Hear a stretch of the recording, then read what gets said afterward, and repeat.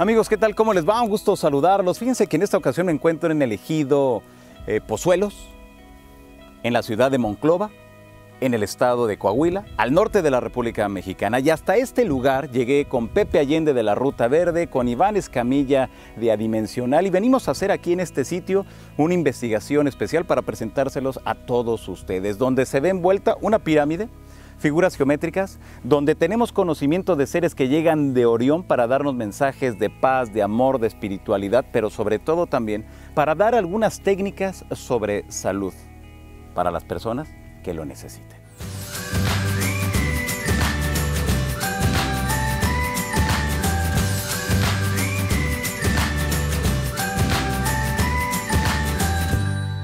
Pues aquí se encuentra conmigo Pepe Allende de la Ruta Verde. Pepe, ¿cómo estás? ¿Qué onda, Johanan? Pues años conociéndonos, digamos, de manera virtual, pero ya, ya ahora sí que no nada más nos conocimos, sino empezamos un proyecto juntos y Así eso es. estaba muy interesante. Exacto, fuimos a investigar a un lugar en Monclova, en el estado de Coahuila, zona norte de la República Mexicana. ¿Y qué encontramos? Pues eh, comentamos que desde los 60 se veían avistamientos bastante interesantes, un tema que confirmaba, bueno, de hecho mi padre me hablaba de eso, ¿no? Yo soy de por allá, e incluso se formó un club ufológico en aquel momento en el lado de Musquis. Y esto trajo la atención de muchos ufólogos en el momento por las diferentes áreas donde había muchos avistamientos, entre ellas está esa zona de Monclova.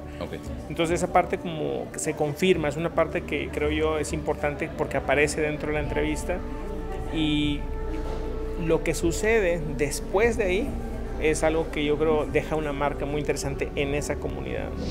Eh, a nivel mundial se conoció el tema de un señor que unos extraterrestres le dicen, haz una pirámide. Y hasta ahí se queda, ¿no? Así es. Hasta ahí se queda. Pero, ¿qué pasó? ¿Qué sucedió con la familia, con la comunidad? Eh, ¿Cuál es la opinión a la- pues, de Johanan? ¿Cuál es la opinión de Iván? ¿Cuál es, cuál es mi opinión? No? Y ah, yo creo que aportar un poquito más al tema y no solamente mostrarlo. Otro punto importante, o sea, no solamente mostrar el, el dato, ¿no? sino eh, mostrar también la parte visual. ¿no? Eh, creo yo que en los demás medios la pirámide se mostró de una manera muy cerrada y no se nota realmente las dimensiones, es. ¿no? No se nota la zona desértica, no te muestran cómo se llega, ¿no? Toda esa parte es importante y eso se va a mostrar en las entrevistas.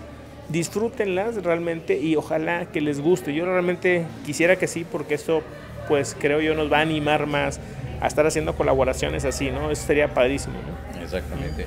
Y esperemos que, bueno, pues todos ustedes que nos miran, que nos siguen a través de YouTube, eh, pues formen parte de esta experiencia, de esta nueva era de, de, pues de colaboración entre canales de YouTube que sabemos que a ustedes también siguen a Iván, que siguen a Pepe o siguen a Johanan Díaz, pero que siempre estamos ahí proporcionándole más información referente a este, a este asunto. Bueno, pues Pepe, de verdad muchas gracias por haber estado por acá.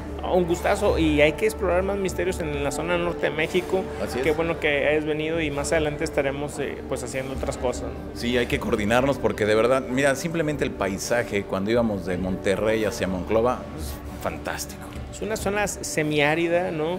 Con sierra, con pa- parte sierra y eso, muchos cañones. Y es una cosa, la verdad, muy interesante, muy bella.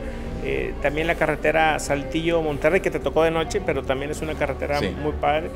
Y que, bueno, pues ya en otras ocasiones quisiera que exploráramos Mina, eh, el Espinazo, ¿no? Eh, todas estas zonas. Oh, que, tenemos que ir con el niño Fidencio. con Niño Fidencio, pues hay que ir ahí al Espinazo, porque ahí pasan cosas bien extrañas y eh, también ver, ver el fervor de la gente, toda esta parte es muy interesante, entonces, bueno, pues, pues ya estará, ya No, pues acá. ya está. Ahí está la, nueva, la próxima investigación que vamos a hacer acá al norte de la República Mexicana con Pepe Allende. Y bueno, pues a ver quién, con quién más A contamos, ver ¿no? quién más, pues hay que decirle a Iván y a ver quién más anima por ahí Pues y sí. ir haciendo este grupo de, pues ahora sí que de exploradores del misterio más grande y más grande, ¿no? Exactamente. Pues muy bien. Pepe Allende, muchas gracias. No, gracias Johanan y gracias a toda la banda que nos ve por aquí, pues ahora sí que eh, les envío un abrazo a todos. Perfecto, pues gracias y les mandamos un fuerte abrazo desde la ciudad de Monterrey, aquí en Nuevo León. Gracias, hasta la próxima.